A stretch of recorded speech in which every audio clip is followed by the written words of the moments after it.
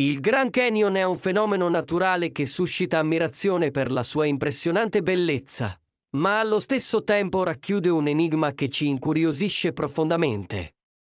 Questo luogo ha una qualità speciale, una sensazione di mistero che ci porta a chiederci quali segreti si nascondono dietro le sue imponenti mura. Un recente studio, condotto da un team di esperti, ha approfondito le profondità del Grand Canyon, portando alla luce reperti destinati a rimodellare la nostra comprensione di questo punto di riferimento, iconico e della sua importanza storica.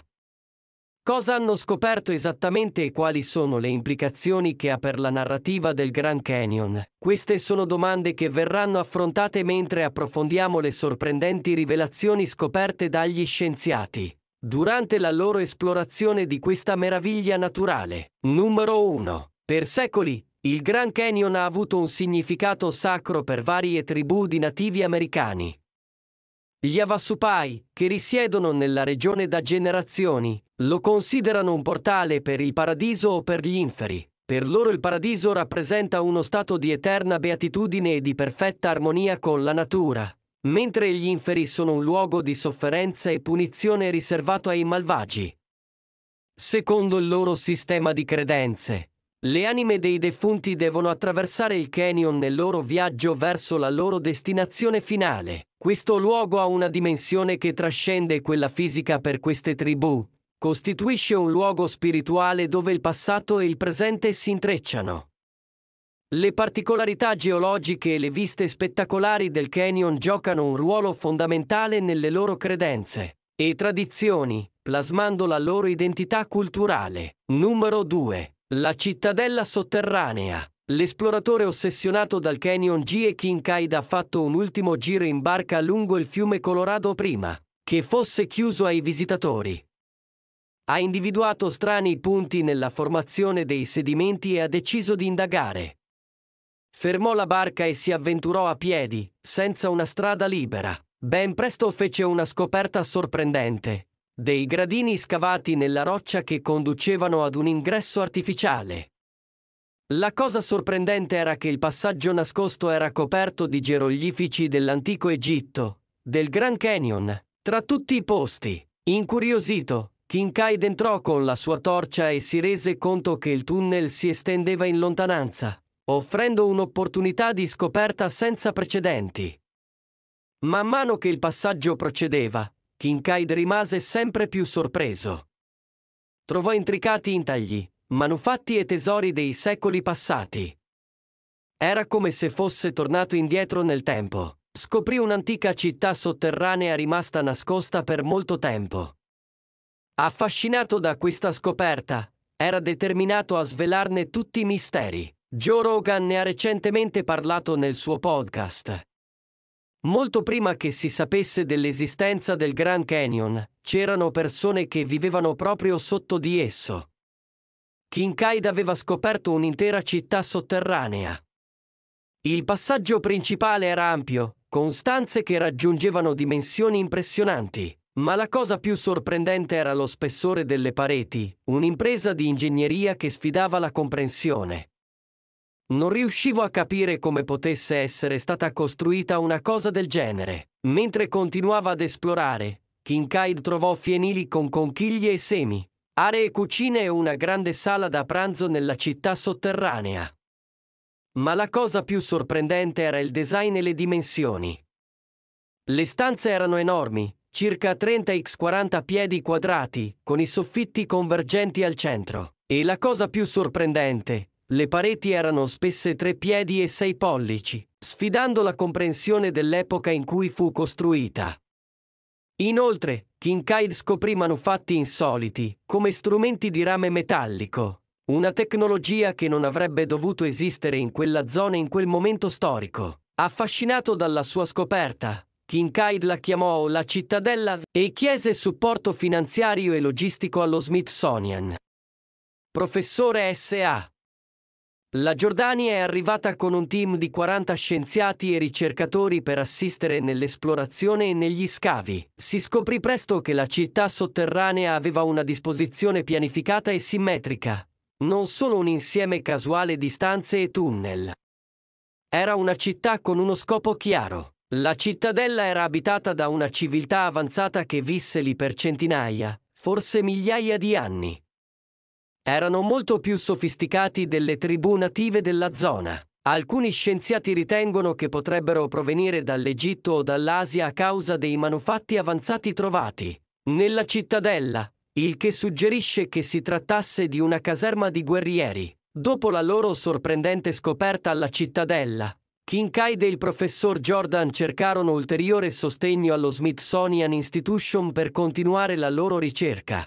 La loro richiesta venne però respinta e, subito dopo, entrambi scomparvero senza lasciare traccia. Il governo è intervenuto e ha vietato l'accesso all'area, sollevando sospetti su possibili insabbiamenti. Nel 1909, l'Arizona Gazzette pubblicò una teoria scioccante che scosse il mondo dell'archeologia.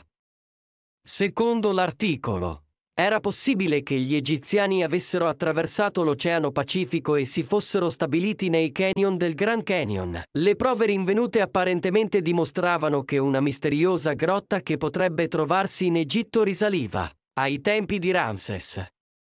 Questa teoria ha suscitato molta attenzione, ma subito dopo essersi diffusa è semplicemente scomparsa. Si è detto che nulla di tutto ciò era realmente accaduto e l'articolo non è stato trovato da nessuna parte. Numero 3. 313 milioni di anni fa. Un grande rettile lasciò delle impronte su una duna del Grand Canyon che si conservarono poi nel tempo. Nel 2016, il professore di geologia Adam Keel e i suoi studenti hanno scoperto queste impronte sorprendentemente conservate sul Bright Angel Trail. Keel li ha fotografati e li ha condivisi con il geologo Steve Rowland. Dopo averli esaminati, Rowland stabilì che l'animale aveva le dimensioni di un moderno coccodrillo e le tracce suggeriscono che fossero state lasciate da due creature probabilmente della stessa specie con un intervallo di tempo tra loro. La scoperta di impronte nella formazione Manak del Grand Canyon ha rivelato informazioni cruciali sull'evoluzione degli amnioti sebbene si pensasse che questi animali avessero bisogno di acqua per vivere. Le impronte in una duna suggeriscono che si siano adattati alla Terra presto nella loro evoluzione. Inoltre, Ron ha mostrato un modello di movimento unico e ha indicato che questo comportamento si è evoluto molto prima di quanto stimato in precedenza. Questa scoperta, considerata la più antica impronta vertebrale del Grand Canyon, ha catturato l'interesse scientifico per le sue conoscenze sulla storia evolutiva degli animali terrestri. Numero 4. La formazione del Grand Canyon. Il Grand Canyon è una meraviglia naturale la cui formazione ha richiesto milioni di anni di erosione e attività geologica. Circa 5 milioni di anni fa, nel nord dell'Arizona, fu creato un lago da una diga naturale piena di sedimenti. Quando il lago fu prosciugato, il fiume Colorado iniziò a erodere la roccia, creando il canyon che conosciamo oggi. L'erosione, insieme al vento e all'acqua, ha modellato questo splendido paesaggio pieno di canyon, burroni e altre caratteristiche uniche. Questo processo ha creato un luogo di eccezionale bellezza e complessità, dimostrando la potenza della natura in tutto il suo splendore, molto prima che l'uomo fosse presente nell'area. Numero 5. Circa 4.000 anni fa, gli esseri umani preistorici abitavano il Grand Canyon, cacciando e vivendo in gruppi. Prove della loro presenza, comprese figurine di ramoscelli spezzati, sono state trovate nelle grotte del canyon e vicino a Flagstaff, in Arizona. Negli anni 30, questi antichi manufatti furono datati utilizzando il radiocarbonio e si stima che abbiano più di 4.000 anni.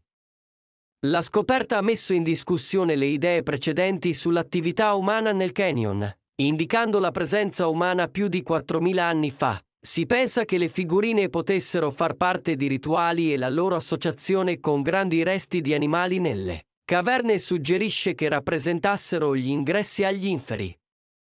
Queste figurine dimostrano l'abilità artistica degli antichi esseri umani e possono essere ulteriormente apprezzate presso l'Arizona State Museum. Numero 6. Durante l'ultima era glaciale, il Grand Canyon era un ambiente più fresco e umido, sede dell'estinto bradipo terrestre di Sasta. Nel 1936, Specialisti come Mark Ran Harrington e Hard Shank indagarono sulla Rampart Cave del Grand Canyon, nota per i suoi fossili di bradipo terrestre. Da allora la grotta ha rivelato numerosi resti ed escrementi dell'animale. Nel 1942, Raiming e Cog del Museo Nazionale di Storia Naturale dello Smithsonian condussero uno scavo fornendo preziose informazioni sull'anatomia del bradipo terrestre. Dai reperti nella grotta furono mostrati resti di bradipi terrestri delle dimensioni di un orso, che indicano il loro utilizzo per millenni. Sebbene si pensasse che la sua estinzione fosse dovuta ai cambiamenti climatici, le prove indicano che fu dovuta alla caccia umana, evidenziando l'impatto umano sull'ambiente. Il Grand Canyon conserva questi resti ricordando quando questi animali erano comuni. La loro dieta erbivora è stata confermata dagli escrementi, che ne spiegano le caratteristiche. Numero 7. A partire dagli anni 50, nel Grand Canyon è stato scoperto l'uranio, che ha causato danni dovuti all'attività mineraria. L'uranio fu trovato per la prima volta vicino al bordo meridionale del canyon presso la miniera di rame di Orphan. Sebbene alcune aree siano state designate come proprietà privata dal 1906, L'uranio è stato trovato in altre zone dell'Arizona dove le rocce sono crollate, formando camini di breccia. Dopo la scoperta dell'uranio, gruppi indigeni, governi locali e ambientalisti hanno combattuto contro l'estrazione mineraria vicino al Grand Canyon, sostenendo i danni all'ecosistema e al patrimonio culturale. Nel 2012 è stato stabilito un divieto ventennale di attività minerarie in alcune aree. Sebbene ci siano 600 rivendicazioni minerarie vicino al Grand Canyon, l'opposizione persiste, poiché la comunità indigena vede l'area come la propria casa e teme gli impatti ambientali e culturali a lungo termine. Numero 8. Nel 1927, Walter T. scoprì le caverne del Grand Canyon mentre cercava l'oro vicino a Peach Springs. Queste grandi caverne secche divennero un'attrazione importante nel Grand Canyon. Sebbene non trovasse oro, trasformò la grotta in un'attrazione turistica e molti visitatori pagarono per esplorare e vedere. Raffigurazioni come quella di un uomo delle caverne. La storia delle Grand Canyon Caverns ha una svolta tragica. Poiché nel 1917 e 1918 due fratelli morirono lì a causa di una tempesta di neve mentre cercavano legna da ardere.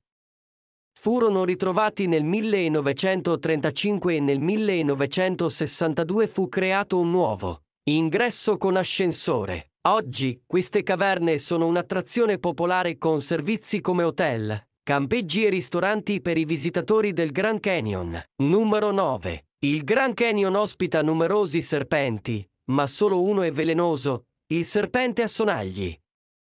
Tra le varietà presenti, come il serpente Moabi verde e il serpente a sonagli maculato, spicca il serpente a sonagli rosa, esclusivo di questa zona.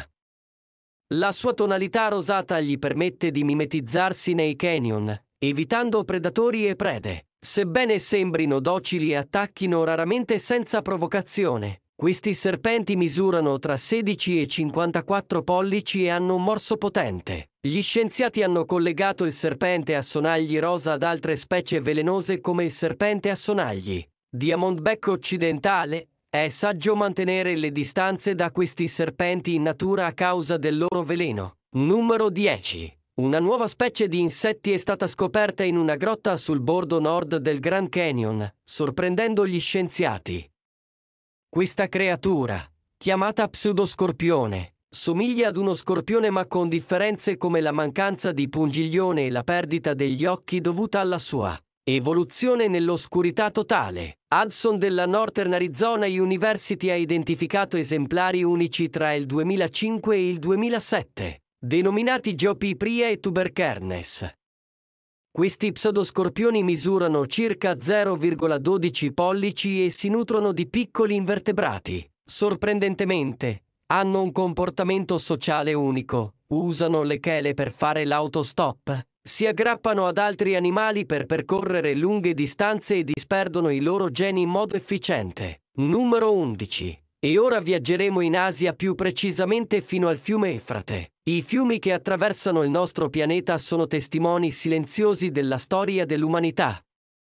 Uno di questi fiumi iconici, l'Eufrate, è stato teatro di innumerevoli storie nel corso dei secoli.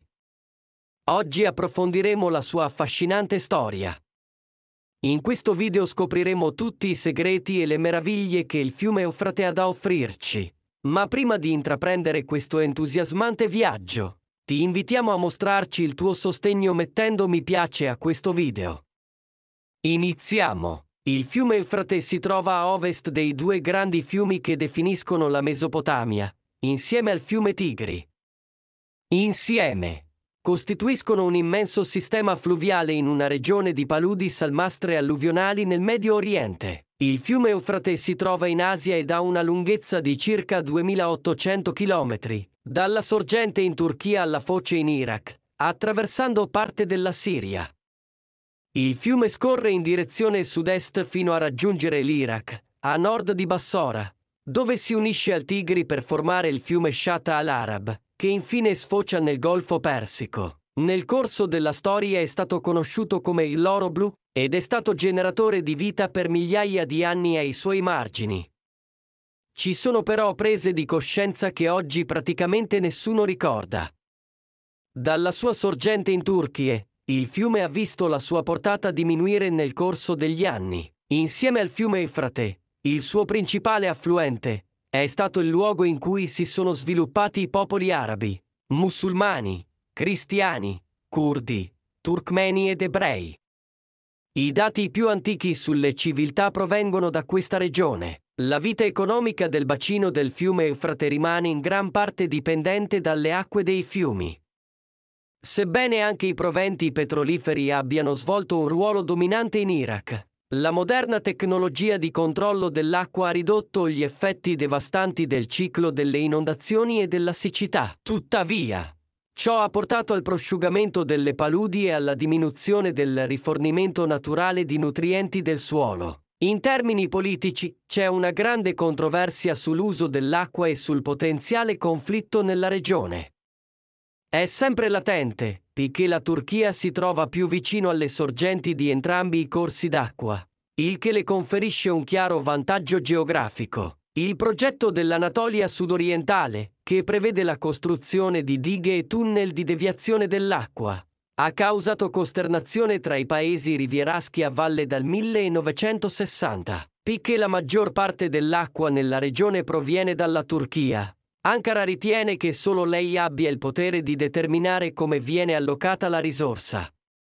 D'altro canto, l'Iraq sostiene di avere diritti storici su una porzione garantita dell'acqua del bacino. La simmetria di potere tra gli stati regionali ha portato a visioni divergenti difficili da conciliare pacificamente. Tra il 1975 e il 1991 le tre sponde del fiume si sono minacciate militarmente in tre diverse occasioni e le trattative sulla distribuzione dell'acqua ne sono state influenzate. Il conflitto è stato finora disinnescato grazie agli sforzi dei mediatori esterni. In passato, l'Arabia Saudita e l'Unione Sovietica sono intervenute e le tensioni sono state ridotte prima che degenerassero in conflitto. Tuttavia, Attualmente non sembrano esserci potenze internazionali o regionali disposte o in grado di incoraggiare gli Stati, dipendenti del bacino del Tigri e dell'Efrate a risolvere le questioni legate all'acqua transfrontaliera. Tra gli animali che troviamo nella zona del fiume Efrate ci sono i maiali selvatici, molto comuni nelle paludi e che si sono diffusi nelle piantagioni di eucalipto appena piantate in altre parti della pianura alluvionale. Inoltre, sciacalli, lontre e manguste si trovano lungo i fiumi nel sud dell'Iraq. Inoltre, un'ampia varietà di gatti della giungla indiana vive ancora in remoti boschetti di tamerici.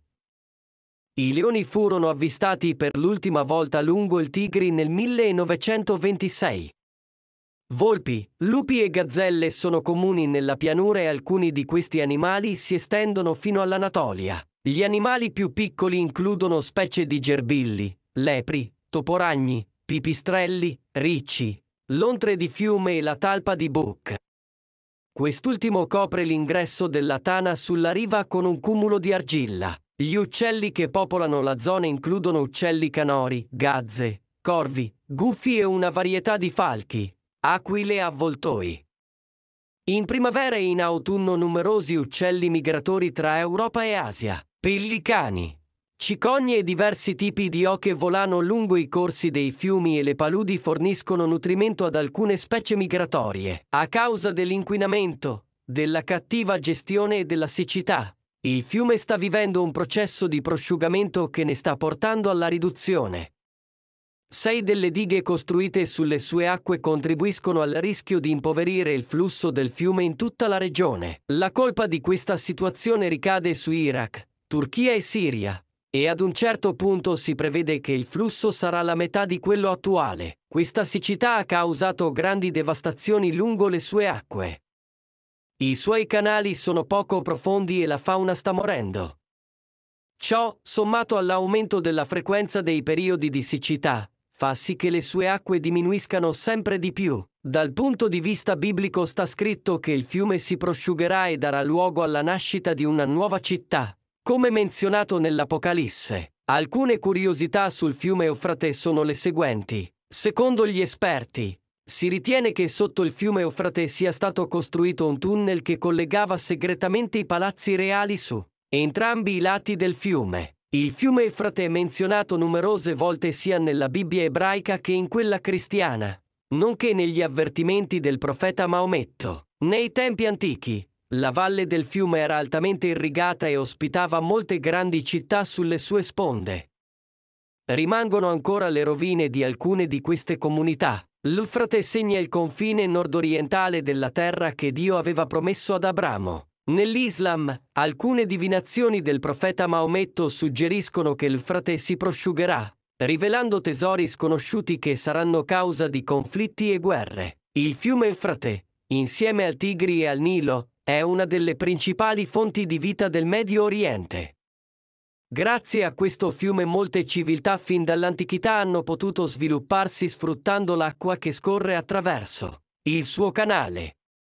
È un peccato che, a causa della cattiva gestione e della siccità, l'Ufrate stia subendo un declino. È soffocato dalle politiche idriche dei vicini dell'Iraq, Turchia e Siria, così come da due anni di siccità e da anni di abuso da parte dell'Iraq e dei suoi agricoltori. Il fiume è ora significativamente più piccolo di quanto fosse solo pochi anni fa e alcuni funzionari temono che potrebbe ridursi alla metà delle sue dimensioni attuali. La brutale siccità che da anni colpisce i corsi dei fiumi Tigri ed Eufrate sta permettendo ad alcuni tesori archeologici di emergere in superficie.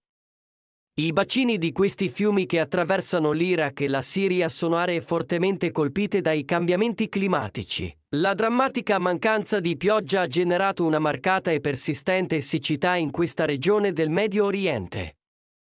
La grande diminuzione delle acque dei fiumi e dei bacini artificiali ha permesso la riemersione di numerosi tesori archeologici. Recentemente, la diminuzione della portata del fiume Eufrate ha portato alla luce diversi siti archeologici risalenti a 11.000 anni fa nel nord della Siria. Questi siti erano sotto le acque del bacino idrico di Al-Assad, costruiti all'inizio degli anni 70. Sono stati trovati edifici residenziali e amministrativi, un sito di fusione dei metalli, un'imponente fortificazione con mura larghe fino a 6 metri e torri, oltre a un monumento un edificio di stoccaggio multipiano e un complesso industriale. Gli archeologi hanno lavorato sotto pressione per scavare e documentare rapidamente almeno una parte di questa città prima che fosse nuovamente sommersa sono rimasti scioccati dal buono stato di conservazione dei muri di mattoni di fango essiccati al sole, che sono rimasti sott'acqua per più di 40 anni. Questo perché la città fu distrutta da un terremoto intorno al 1350 anno corrente, durante il quale le parti superiori delle mura crollarono seppellendo gli edifici. Hanno anche trovato cinque vasi di ceramica contenenti un archivio di oltre 100 tavolette uniformi, conosciute come un tipo di lettere fatte di argilla cruda del periodo medio assiro.